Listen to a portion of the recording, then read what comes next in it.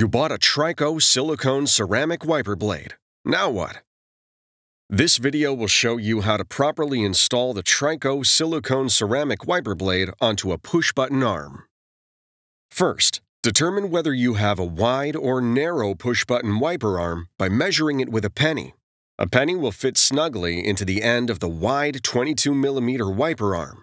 It will not fit into the end of the narrow 19mm arm.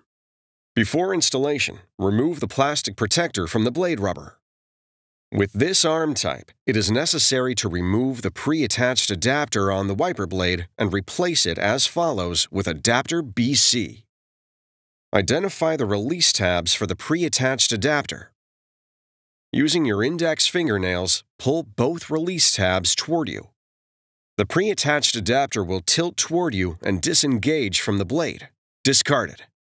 Locate adapter BC and position it so that the release tabs face up. Tilt adapter BC back into the cavity in the blade until it clicks in place. Both release tabs must lock onto the blade before proceeding to the next step.